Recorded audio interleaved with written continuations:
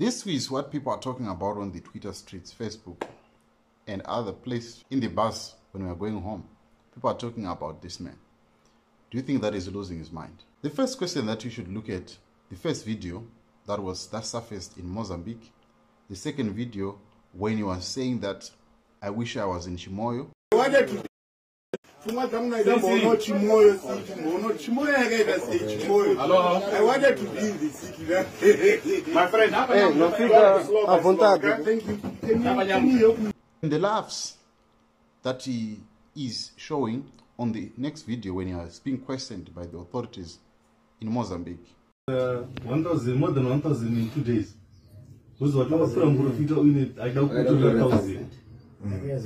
two days later wakundotsvaga mari pekukisha usina thousand. Yaingaenda kutousand ndosaka ndotaura kuti mathousand iwe wati hanzanyomupwesenasterinzanyoya mupwesenasteri ngaitsanangudze friidingaitsanangudze friidi ngaitsanangudze ndigoneyatsanotsanangura ava ndikutaura hangu navanotovakunudza zvakanaka. Mm,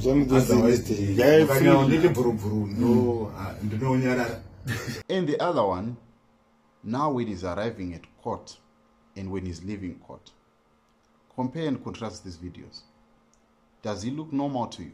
I think he looks normal. One explanation that people can give is that the experience that he went through of shooting four people and all of them knowingly that they are dead and also the fifth person being the caretaker at Mutare Boys Eye, I don't think that is somebody who has gone rogue and there is a bit of trauma that is going on through to him.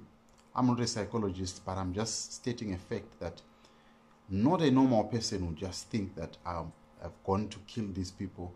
Some of these people, they they are not his enemies.